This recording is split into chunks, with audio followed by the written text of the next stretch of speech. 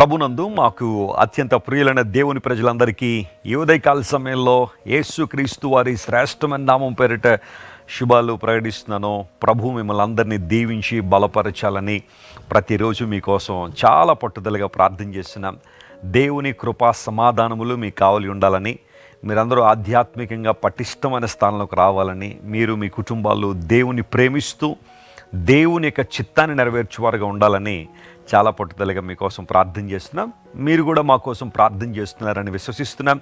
ప్రతిరోజు ఒక వాగ్దానాన్ని బైబిల్లోంచి మనం ధ్యానం చేయడం ద్వారా కావలసిన స్ఫూర్తిని మరియు ప్రోత్సాహాన్ని మనం పొందుకుంటున్నాం. దేవుని లేఖనాలు గొప్పవి. దేవుని లేఖనాలు మన జీవితాల్లో ఆదరణ కలిగించేవి. లేఖనముల వలన ఆదరణ ఉందని బైబిల్లో రాయబడింది. ఈరోజు ఒకవేళ ఒక సమస్యతో నీవు ఉన్నావేమో ఒక ఇబ్బందికర పరిస్థితిలో ఉన్నావేమో ఉదయాన్నే లేస్తూనే ఏదో ఒక దుర్వార్త ఒక చెడు వార్త విని ఈరోజు దేవుడు నాతో ఏం మాట్లాడబోతున్నాడని విశ్వాసంతో బహుశా నీవు కూర్చుని ఉన్నావేమో దేవుడు నీతో మాట్లాడబోతున్నాడు తన వాగ్దానం ద్వారా. గ్రంథాలు తెరుద్దాం. ఈరోజు వాగ్దానంగా కీర్తన గ్రంథం ఇరవై రెండవ కీర్తన ఐదవ వచనాన్ని చదువుకుందాం. వారు నీకు మొర్ర పెట్టి విడుదల నొందిరి నీ అందు నమ్మిక ఉంచి సిగ్గుపడకపోయిరి. ప్రైజ్ ద లార్డ్ చాలా చక్కని వాగ్దానం. బైబిల్ గ్రంథంలో రాయబడిన అనేకమైన శ్రేష్టమైన వాగ్దానాలు ఇది కూడా ఒకటి. గమనించిన ప్రియులరా ఇరవై రెండో కీర్తన దావీదు భక్తుడు రాసిన కీర్తన. దీన్ని మెసయనిక్ సామ్ అని కూడా పిలుస్తారు. ఎందుకు అంటే ఈ కీర్తనలో రాయబడిన చాలా ప్రవచనాలు యేసు ప్రభు జీవితంలో నెరవేర్చబడినట్టుగా మనం చూస్తాం. నా దేవ నా దేవ నీ వేళ నన్ను విడనాడితివి అనే మాటతో ఈ కీర్తన ప్రారంభించబడింది. యేసు ప్రభు వారి సిలువలో పలికిన నాలుగో మాట కూడా అదే. ఆ విధానాన్ని పరిశీలన చేస్తే ఈ కీర్తనలో అలాంటి వచనాలు చాలా మనకు కనబడతాయి. గమనించిన ప్రియులరా చాలామంది ఈ రోజుల్లో యేసు ప్రభుని ప్రవక్తగానే చూస్తున్నారు. పాత నిబంధనలో చాలామంది ప్రవక్తలు ఉన్నారు. యేసు ప్రభు కూడా వారిలాంటి ఒక ప్రవక్తే. ఆయన తర్వాత ఇంకో ప్రవక్త వచ్చాడు. ఇంకా ఆయన అల్టిమేటు ఆయన చెప్పినవే ఇంకా మనం నమ్మాలి.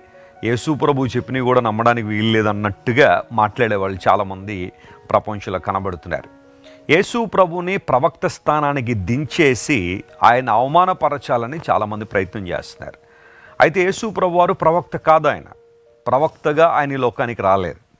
ప్రవక్తలు ఎవరి గురించి అయితే మాట్లాడారో ప్రవక్తలు ఎవరి రాక గురించి అయితే ప్రవచించారో ఎన్నో ఏండ్లుగా ఎన్నో తరాలుగా ప్రవచించారో ఆ ప్రవచనాలన్నీ కూడా తనలో నెరవేర్చడానికి యేసుప్రభు లోకానికి వచ్చారు కానీ ఆయన ప్రవక్త కాదు.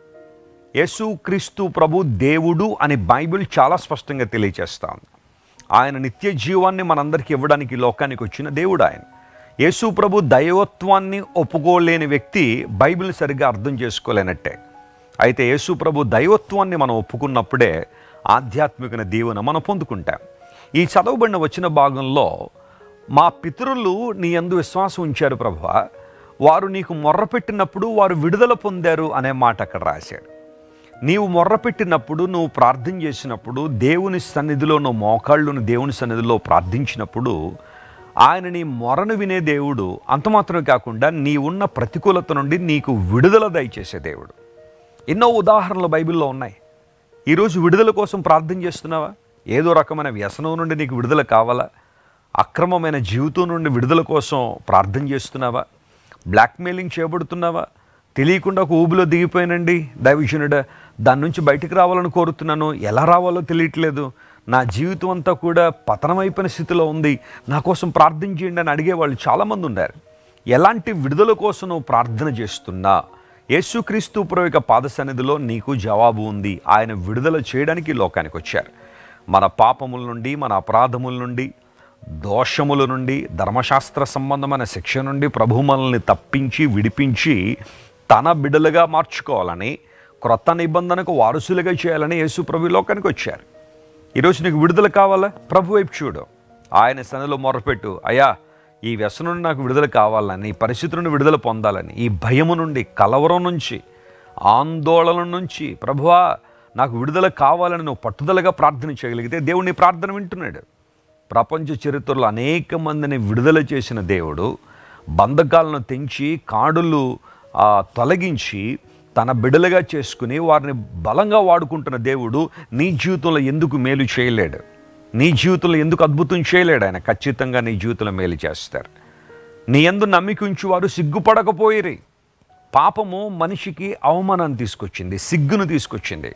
కానీ యేసు ప్రభు వారు అవమానాన్ని దొర్లించి వేసి నిజమైన ఆనందాన్ని సంతోషాన్ని ధైర్యాన్ని తలెత్తుకుని జీవించగలిగే కృపను దేవుడు మనకిచ్చాడు. దావీదు భక్తుడు అదే అంటాడు మూడో కీర్తన జాగ్రత్త మనం పరిశీలన చేస్తే ప్రభా నీవు నా తల ఎత్తువాడుగా ఉన్నావు అన్నాడు. నిజమే? దేవుడు మన తల ఎత్తువాడు ఆయన. ఒకప్పుడు మన తలలు దించబడ్డాయి.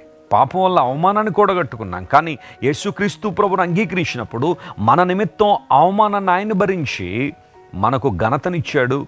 ఆయన మనల్ని ప్రేమతో నింపారు. ఎంత గొప్ప దేవుడు ఆయన. ఈరోజు యేసుక్రీస్తు ప్రభును విశ్వసించగలిగితే నీవు సిగ్గు నొందవు అని బైబిల్ సెలవిస్తాం నీ మీద ఉన్న గిల్ట్ షేమ్ని ప్రభువు తొలగించి నూతనమైన కార్యాలు నీ జీవితంలో జరిగించగలడు ఆయన. ఈ వాగ్దానాన్ని ఈ రోజంతా క్లెయిమ్ చేసుకుని ప్రభువును స్తుతించండి. అవును ప్రభువ నీవు మాకు విడుదలిచ్చే దేవుడు విమోచన ఇచ్చే దేవుడు మమ్మల్ని విడిపించే దేవుడు ప్రభువా. కష్ట పరిస్థితుల నుండి మాకు విడుదలిచ్చే దేవుడు మోత గంపలు ఎత్తకుండా మాకు విడుదలిచ్చే దేవుడు.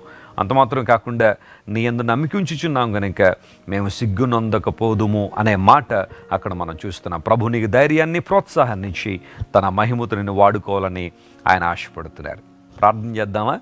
కళ్ళు మూసుకొని మీరు ఎక్కడున్నా పర్వాలేదు మీరున్న చోటు కళ్ళు మూసుకుని ప్రభు వైపు చూడండి.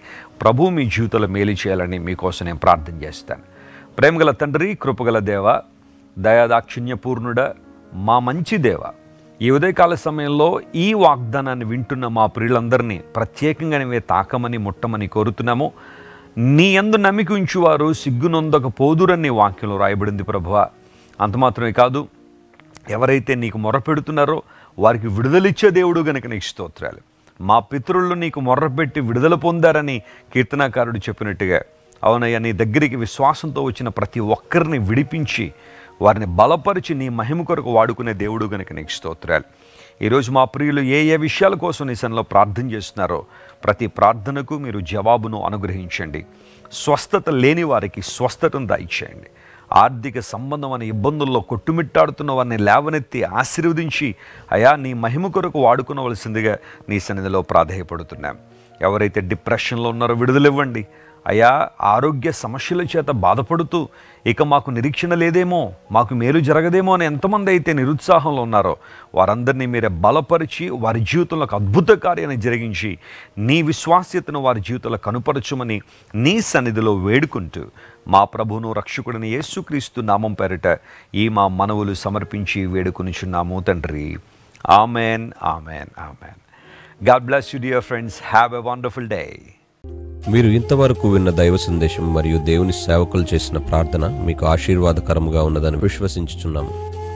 ఈ సందేశాన్ని మీ స్నేహితులకు బంధువులకు షేర్ చేయండి. మీకు ఏదైనా ప్రార్థన అవసరత ఉన్నచో మా ఫోన్ నంబర్లకు కాల్ చేయండి. దేవుడు మిమ్మల్ని ప్రేరేపిస్తే విశ్వాసంతో సాగుచున్న ఈ పరిచయను ప్రోత్సహించండి. మరిన్ని వర్తమానాలు పాటలు వినుటకు జాన్ వెస్లీ మినిస్ట్రీస్ అను మా యూట్యూబ్ ఛానల్ను సబ్స్క్రైబ్ చేసుకునండి. ప్రభు అయిన యేసుక్రీస్తు కృప మీకు తోడైండునుగాక. గాక